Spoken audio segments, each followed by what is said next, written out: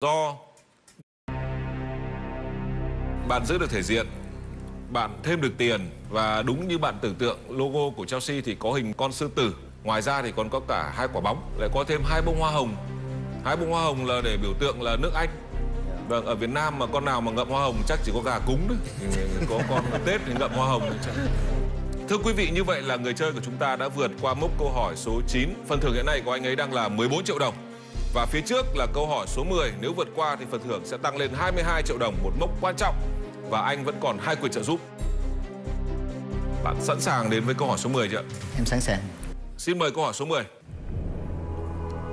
Trong lễ hiển linh Epiphany 2019 Tổng thống Nga Putin đã thực hiện nghi thức gì?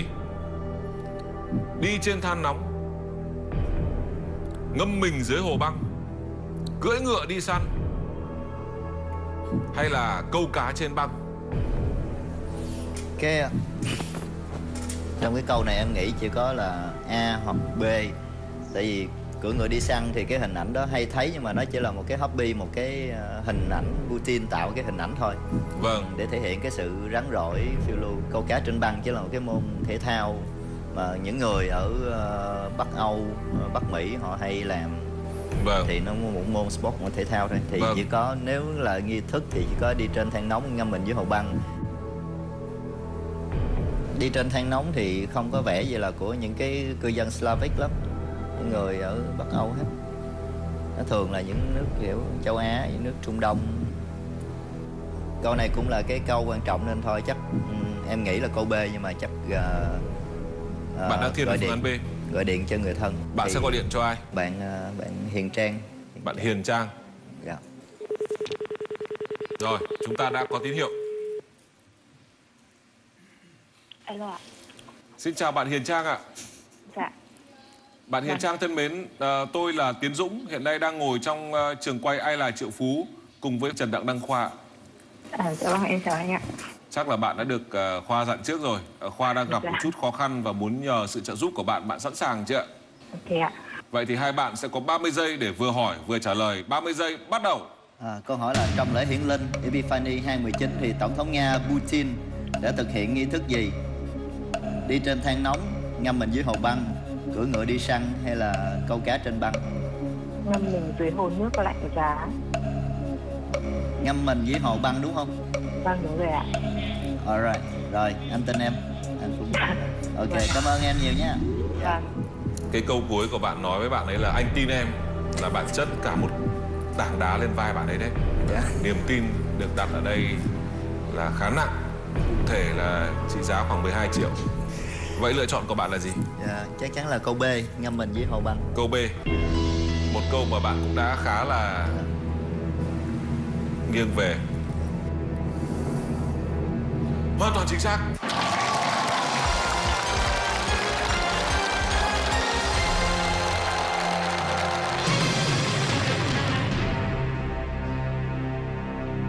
Một sự trợ giúp hiệu quả. Thưa quý vị, Như vậy là người chơi của chúng tôi đã vượt qua mốc số 10 Một mốc quan trọng của chương trình. Và phần thưởng của bạn ấy bây giờ đang là 22 triệu đồng. Và tôi nghĩ là người à, còn cảm thấy lo lắng Và hồi hộp hơn cả. Bạn ở đây Đó là bạn Hà ngồi trên kia. Vâng. Hoặc có thể bạn ấy sốt ruột. Bạn yên tâm Lát nữa sẽ bạn sẽ được nhờ tới. Dạ, ok ạ. 22 triệu đồng. Dạ. Chắc chắn đã thuộc về bạn. Bạn muốn tôi để ở đây Hay là bạn định cầm về? Anh để đó cũng được ạ. À vâng. Dạ. Bạn cứ tin tôi. Dạ, em tin anh. Vâng Người chơi của chúng ta đã vượt qua mốc câu hỏi số 10 Phần thưởng hiện tại của anh ấy đang là 22 triệu đồng Và nếu vượt qua câu số 11 Thì phần thưởng sẽ tăng lên 30 triệu đồng Bạn đã sẵn sàng đến với câu số 11 chưa? em đã sẵn sàng. Xin mời câu số 11 Đài Thiên Văn Alma Được đặt tại quốc gia Nam Mỹ nào? Brazil Uruguay Argentina Hay là Chile? Xin mời bạn. À, câu này em khá tự tin mà dễ vừa không tự tin lắm tại vì ờ, em đã đi qua cái vùng Nam Mỹ rồi đã đi ngang cái con đường Banana Banan America chạy ngang qua Chile đi lên sa mạc Atacama là sa mạc khô hạn nhất thế giới mà có những nơi là mấy trăm năm không có mưa thì do cái khí hậu nó như thế không bị mây nên người ta mới quyết định là ở châu Âu và Mỹ đầu tư xây một cái đài thiên văn rất là to nằm trên đỉnh núi để em nghĩ câu đáp án là Chile yeah. Đó có phải đáp án cuối cùng bạn không? đáp án cuối cùng của em Đáp án cuối cùng của bạn là Chile. câu D Tôi nghĩ là tất cả những người ngồi trong trường quay này đều không có ai có nhiều thông tin và có nhiều trải nghiệm trực tiếp cho câu này như là bạn. Và đây là một đáp án hoàn toàn chính xác.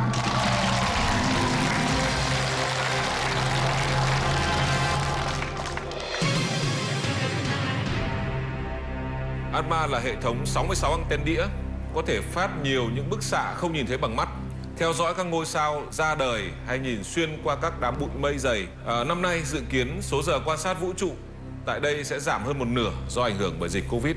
Không cần sự trợ giúp nào cả, bạn đã vượt qua câu số 11 với phần thưởng là 30 triệu đồng. Với 30 triệu thì có đủ mua cái chiếc xe máy mà bạn đã sử dụng để đi không ạ? Cái xe máy đấy hồi bạn bạn mua là bao nhiêu tiền? 10, 15, 16 triệu có thể mua được hai chiếc đó là đi hai vòng trái đất nữa 6 năm nữa Thế bạn cứ mua bốn cái đi. dạ 30 triệu. dạ Và tôi vẫn để đây tiếp. dạ vâng ạ dạ em, em cảm ơn anh Như vậy là người chơi của chúng ta đã vượt qua mốc số 11. Phần thưởng của anh ấy bây giờ đang là 30 triệu đồng.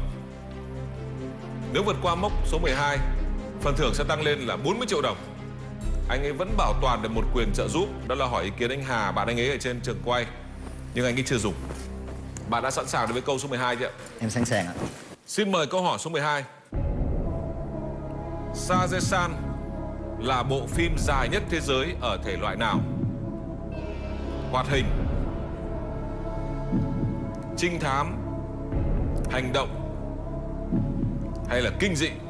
Ờ, phần sơ sơ chữ cái chữ san cuối là thường là tiếng Nhật khoa san dũng san thì Vâng. sase cũng là tiếng Nhật mà nước Nhật lại rất là nổi tiếng về manga về anime hoạt hình nên em nghĩ chắc là câu A em nghĩ là nếu như Hà Hà cũng sẽ chọn câu A thôi Đúng rồi. tại vì ờ, Cùng- thì- cùng- cùng kiểu với nhau mà. Dạ. Vâng.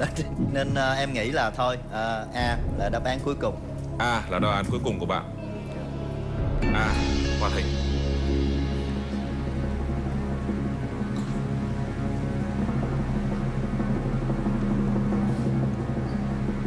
Hoàn toàn chính xác.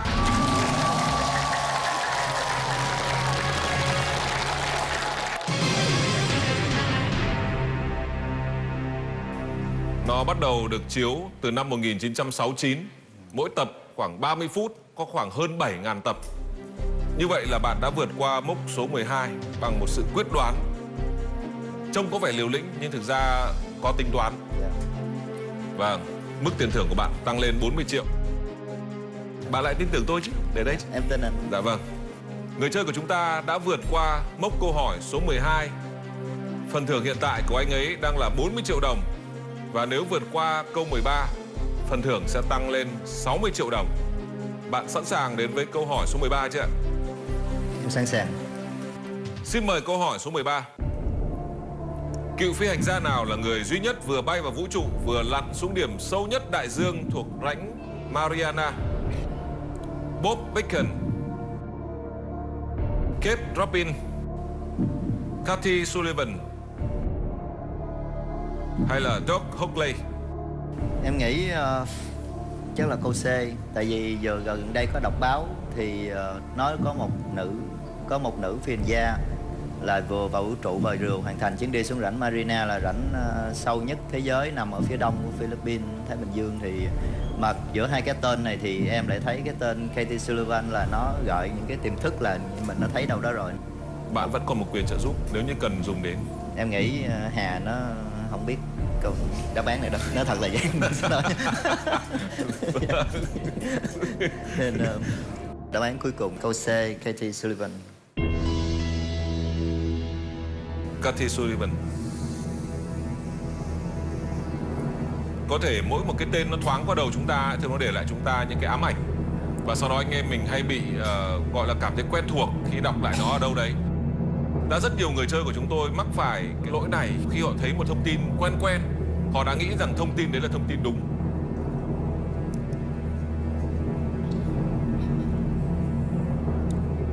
Và trường hợp này của bạn thì bạn hoàn toàn đúng.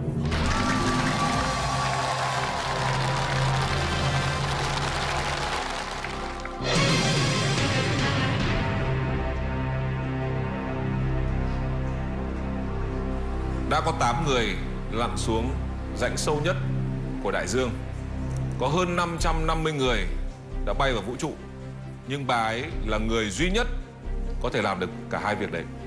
Nên là chúng ta mới đưa đến trong chương trình này rất là ngạc nhiên vì một thông tin như vậy mà bạn cũng đã có một linh cảm chuẩn. Thưa quý vị, người chơi của chúng ta đã vượt qua mốc câu hỏi số 13. Bạn vẫn tin tưởng để xét đây chứ? ạ? Dạ em tin anh Em tin Vâng ạ.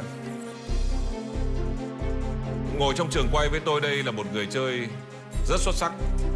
Anh ấy đã vượt qua được mốc câu hỏi số 13. Phần thưởng hiện tại của anh ấy đang là 60 triệu đồng. Vượt qua mốc số 14, phần thưởng của anh ấy sẽ tăng lên 85 triệu đồng. Được bao nhiêu cái xe máy thôi? Nhiều quá không đếm hết nổi Không đếm hết nổi xe máy. Và bạn vẫn còn một quyền trợ giúp. Đó là hỏi ý kiến người bạn ngồi trên trường quay. Bạn sẵn sàng đến với câu số 14 chưa? Em sẵn sàng ạ. Xin mời câu hỏi số 14. Ngày mùng 10 tháng 3 âm lịch hàng năm được chính thức quy định là ngày quốc lễ dỗ tổ Hùng Vương vào triều đại nào trong lịch sử nước ta? Nhà Lý, nhà Hậu Lê, nhà Nguyễn hay là nhà Trần? Triều đại nào thì em nghĩ có thể là triều đại gần đây nhất chắc là triều có triều Nguyễn thôi. Thì đúng là có triều Nguyễn thật nên ờ, câu này ờ, kiểu như đường cạn ngã về không? Em sẽ trả lời ờ, Nam giới ở độ tuổi trung niên và cao tuổi rất dễ gặp những vấn đề khó nói như xuất tinh sớm, rối loạn cương dương, khả năng cương luôn là nhà Nguyễn. À, nếu không vượt qua được câu hỏi này thì sẽ Hà sẽ rất là buồn. Giáng sinh tại sao rủ tôi đi mà không cho tôi tham gia thì lại thực sự luôn nên câu này em xin sử dụng quyền trợ giúp là nhờ người bạn đồng hành là bạn Hà đây Vâng ạ. Vâng. Tôi thấy anh Hà lại gãy đầu. Vâng. Xin mời à, hai bạn. Tôi nghĩ nhà Nguyễn đấy nhà Nguyễn luôn gần đây nhất chứ trước đó nhà Lý Hậu. Lê Trần thì kiểu như là nhiều khi họ cũng không có Ừ. khái niệm nhiều vậy gần, Hùng Vương chính lịch sử thì gần đây nhất thì nó mới Nhà được Nguyễn thì họ gắn liền với, với, Ừ, với từ thời à. Pháp các thứ Họ rồi. sẽ có coi trọng những cái việc và giao thoa giữa các Ừ, thời đại với đúng nhau rồi. đây thì tiền ờ, nhận được hôm nay cũng muốn gây quỹ cho trẻ em thì ờ, nếu tại em cũng đang làm đại sứ cho bên Mohammed đó sau khi bàn bạc với Hà thì em thống nhất là à, chọn câu trả lời là nhà Nguyễn là câu đáp án cuối cùng là câu C là nhà Nguyễn nó cũng hơi uh, phiêu phiêu tại vì ờ, cũng biết đâu được tự nhiên thầy Trần Hồng Lê nhưng mà nhưng mà thôi thì Bạn đã chọn câu C. dạ chọn câu C là câu đáp án cuối cùng Phần uh, rút rẩy phía sau chúng tôi coi như không nhìn thấy. Bạn đã Dạ. chốt rồi. dạ đã chốt rồi Tôi có nói với bạn là nếu như chúng ta lên được câu số 14, bạn sẽ có thêm hai cái xe máy nữa. Và nếu như bạn lùi về câu số 10, tức là chúng ta sai, chúng ta về mức tiền thưởng 22 triệu đồng, bạn sẽ mất ba cái xe máy nữa. Ngoài ra còn những cái dự định thiện nguyện của bạn nữa.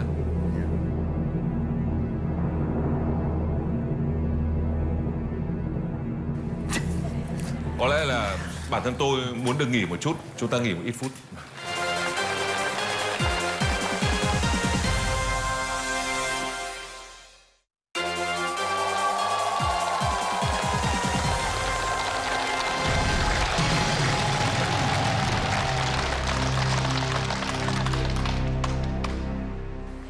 Xin chào mừng quý vị và các bạn đã quay lại với chương trình Ai là triệu phú. Người chơi của chúng ta, anh ấy vượt qua mốc số 13 và đang ở mốc số 14. Anh ấy rất căng thẳng với câu hỏi này nên đã nhờ quyền trợ giúp của bạn mình. Anh ấy có nhiều dự định nếu như được giải thưởng. Tôi để ý khán giả trên kia có nhiều người cứ giang tay ra chờ vỗ và tôi cũng chưa biết là sẽ nên ờ, công bố thế nào vì không biết là có làm quý vị vỗ tay được không khi mà quý vị biết rằng lựa chọn vừa rồi là một lựa chọn hoàn toàn chính xác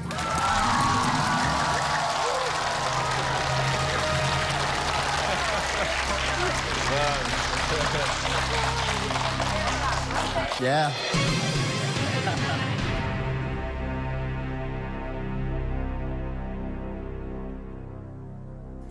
Vào năm Khải Định thứ hai năm 1917, quan tuần phủ Phú Thọ Lê Trung Ngọc đã xin bộ lễ ấn định ngày quốc lễ vào ngày 10 tháng 3 âm lịch hàng năm là ngày cả nước làm lễ tế vua Hùng. Bạn có tiếc khi mình đã sử dụng quyền trợ giúp là hỏi kiếm bạn Hà không? Cũng hơi tiếc một chút tại vì câu 15 nhưng mà thực sự thì ờ, em thấy là em chọn gì thì Hà sẽ chọn cái đó Thì để Vâng. thêm một cái cái ờ, là- tự tin thôi Dạ nên ờ, cũng Vâng, tôi sẽ xoa dịu bạn bây giờ đây. 85 triệu, Dạ hãy nhìn nó đi.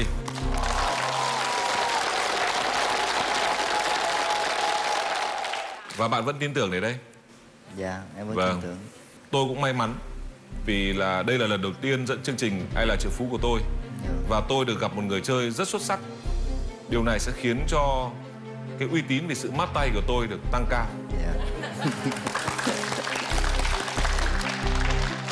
Hy vọng là quý vị khán giả hay những người chơi đang dự định sẽ tham dự chương trình Ai là triệu phú hãy đăng ký đi và hãy đến với tôi.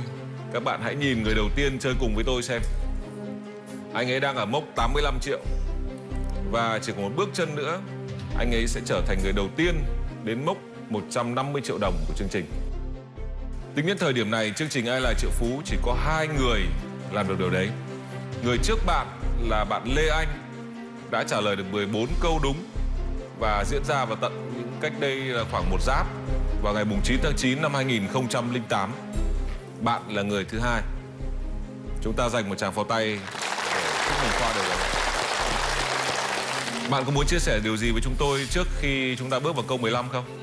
Thì uh, thực sự cũng rất là hồi hộp nhưng mà em nghĩ ờ, cuộc đời là một cái ờ, chuyến đi Một cái ờ, chuyến phiêu lưu. Không phải là kiểu như là đi vòng quanh thế giới Mà là phiêu lưu mà từng người từ một đứa trẻ Từ khi sinh ra đến lúc chết đi Thì mỗi người đều có một cái cuộc phiêu lưu riêng cho mình. Từng bước chân đi không biết tương lai nó sẽ dẫn về đâu.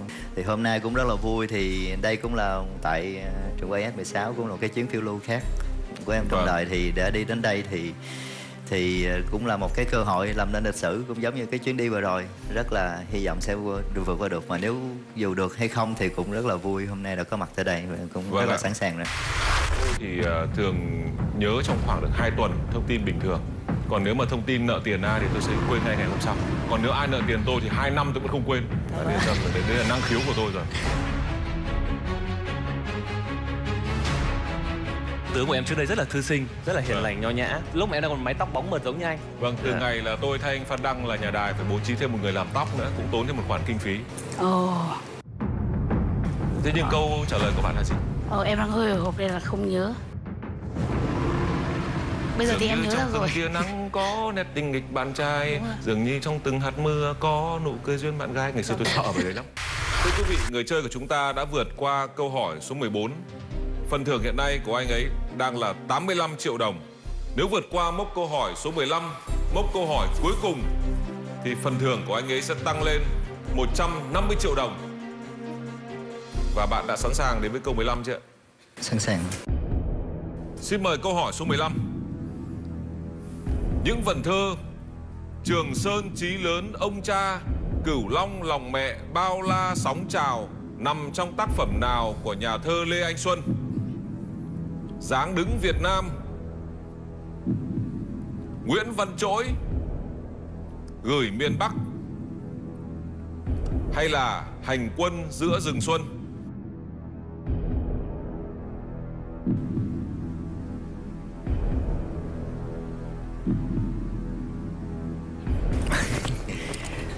Thực sự là cũng không có không có một cái uh, uh, một cái clue một cái um, dự đoán nào cho cái này nhưng mà em nghĩ chắc không phải Nguyễn Văn Trỗi Ờ, em lại nghiêng về hai cái khả năng là gián đứng Việt Nam và hành quân giữa rừng xuân Vâng thì ờ, Bạn có hai sự lựa chọn. Một, bạn chơi với tôi đến cùng trong câu hỏi này.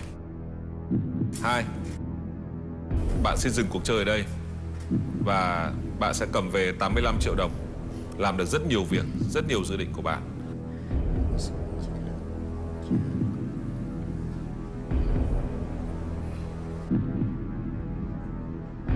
thôi đời chiếu phiêu lưu mà Ờ, em xin chọn chơi tiếp dạ Bạn chọn chơi tiếp.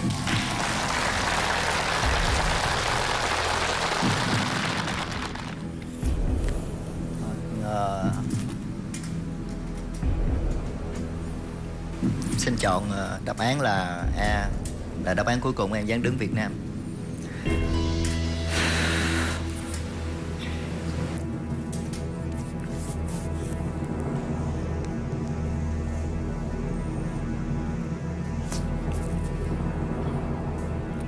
Bạn đã đạt đến một mốc mà cả chương trình từ trước đến giờ chỉ có hai người làm được. Bạn đứng trước một cơ hội mà có thể làm được một việc mà từ trước đến giờ chương trình Ai là triệu phú chưa ai có thể làm được hoặc trở về mức 22 triệu, mức mà rất nhiều người đã làm được ở trong chương trình Ai là triệu phú.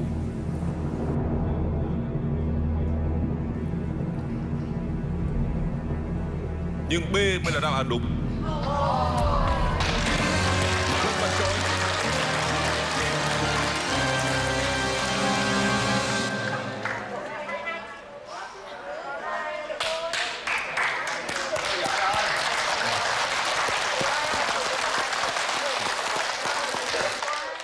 Lẽ cảm xúc của tôi còn tiếc nuối hơn là bạn. Tôi muốn làm lên một lịch sử ngay từ lần đầu mình dẫn chương trình Ai là triệu phú và tôi có người chơi cùng chiến thắng 150 triệu. Nhưng tôi vẫn xin hỏi cảm xúc của bạn bây giờ như thế nào? em lại thấy ờ, rất là nhẹ nhàng tại vì ờ, em lại có cảm giác là em sẽ không có đúng cái câu hỏi này cái linh tính rất là nhưng mà em vẫn Vâng. take the chance dạ chuyện chơi tiếp chỉ là chọn đại một đáp án và may rủi hơn xui may rủi là xác suất 25% thôi 25%. Thưa quý vị, người chơi của chúng tôi không phải là đưa ra lựa chọn dựa trên một cái căn cứ nào đấy mà anh ta biết. Toàn bộ thời gian anh ấy dùng để suy nghĩ cho việc là chơi tiếp hay không. Và các bạn biết rồi đấy, anh ấy đến đây với tư cách là một người thích phiêu lưu. Anh ấy còn đi vòng quanh thế giới được. Huống chi là 15 câu hỏi của chương trình Ai là triệu phú. Nhưng quan trọng nhất là anh ấy đã thực hiện được hành trình từ câu hỏi số 1 và đến tận câu hỏi số 15 sử dụng hết cả bốn quyền trợ giúp. Nói chung là tất cả mọi thứ, Chắc chắn điều này sẽ truyền cảm hứng cho người chơi ai là triệu phú cho suốt cả một năm 2021 và cả các năm về sau nữa.